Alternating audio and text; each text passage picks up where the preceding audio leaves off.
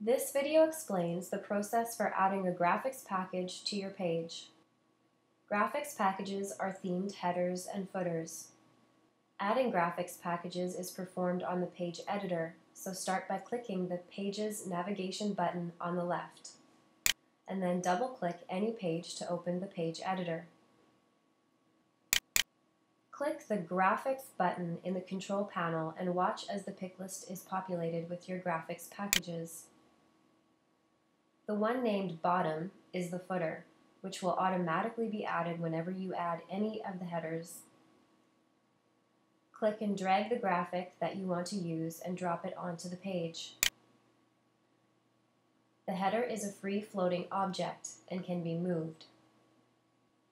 The footer can be removed from the page, but because its position is determined by your footer settings, it cannot be moved from here. For information on adjusting your footer positioning, please refer to our custom footer video. If you want to change the theme of your graphics package, head to the registration page by clicking on the Register Navigation button on the left.